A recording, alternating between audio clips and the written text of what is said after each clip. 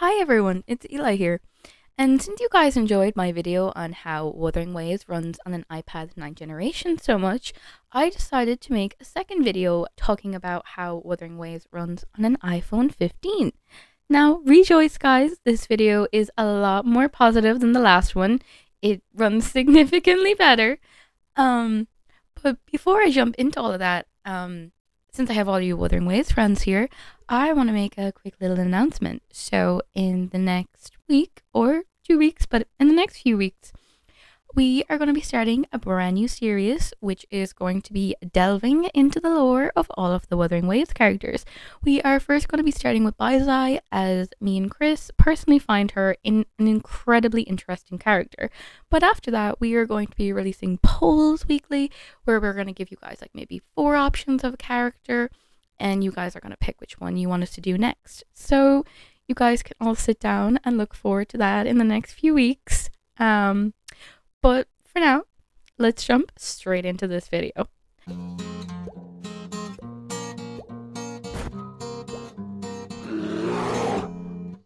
So, to begin, Wuthering Waves runs significantly better on the iPhone 15 than it does on the iPad 9th generation. It's incredibly smooth, it doesn't have any crashing issues, it runs really, really, really well. Um, and I got the idea to download it on my iPhone because Chris mentioned it to me and he was like, why don't you download it on your phone and see if you can play it that way? So I was like, huh, okay, let me try that. And I don't know why I didn't do it sooner because if I had done it sooner, I would have not had any of the issues that I discussed in the previous video where I couldn't do like sections of the story due to how badly the game crashed. If I had just installed it on my phone, I would have been able to get through those with ease. Um, so, so to give um a quick little bullet bullet point list of all the things that does well extremely well in this game, graphics. Graphics you can put into high quality. You won't have any major issues. You will experience a little bit of overheating and battery drainage, but those are probably the only two negatives that I can say happen with like the actual gaming experience. Um, but you can have your you can have everything high resolution high, graphics high, you can have whatever you like on the highest setting, and you're not going to experience any major hurdles.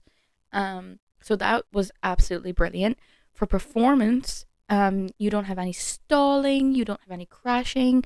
You can go and do some of the heaviest combat quests in the game and you won't experience any um, issues whatsoever. Um, so that's brilliant. Like I'm like I'm sold. I'm sold already. Um, I just wanted to be able to play the game, uh, so I, I was sold on that. Um, but yeah, overall, it was such a positive gaming experience.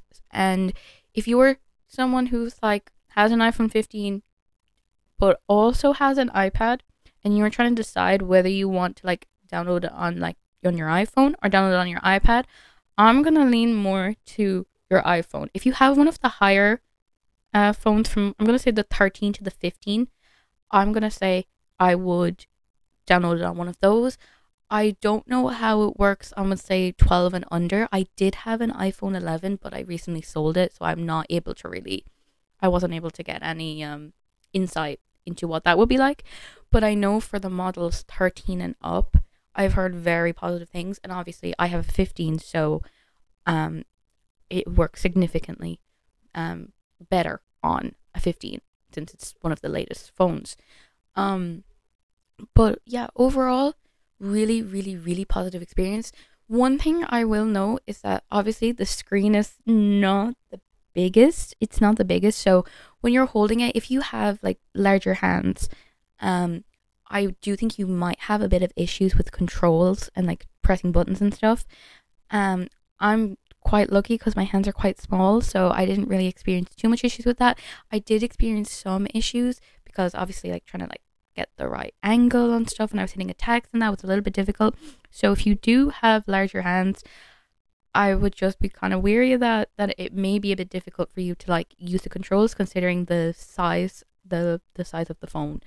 Um, but that's that is really the only major thing, along with the um, overheating, slight overheating, not too bad, and the battery drainage. Those are the only three things. But I think those three things, in comparison to having the entire game crash, are not that bad. Um, so I would recommend downloading this game on the iPhone 15 if at all you could. Um, so yeah, that is that is all I have for you guys today. I hope this video gives you a little bit of insight into how uh, Wuthering Waves runs on the iPhone 15. And if you have any other questions for me down below, I will be responding. Um, if I missed anything, let me know. Um, and yeah, I hope you guys all have so much fun playing Wuwa. It is such an amazing game, and I am so so happy that I can finally get back to playing a game that I love so much. Um, but I'm still here praying for the day that they make it work on my iPad so I can play it on my large screen and be like, oh, my pretty characters on a large screen. So yeah, let's hope that maybe, maybe in the future, um, Kuro Games will finally give us the crashing update that we've been asking for. But that's all I have for you guys, and I hope to see you all again next time.